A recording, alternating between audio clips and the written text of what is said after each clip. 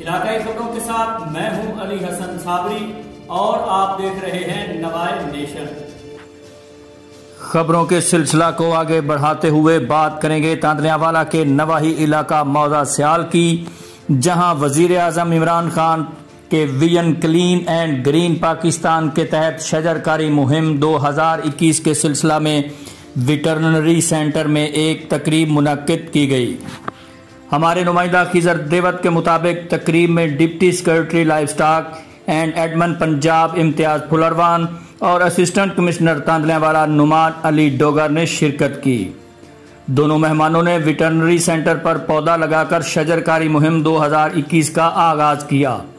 इस मौका पर इम्तियाज़ फुलरवान और नुमान अली डोगर का कहना था कि दरख्त लगाना सदका जारिया तो है ही, साथ ही खुशगवार माहौल की फरहमी का जामिन भी।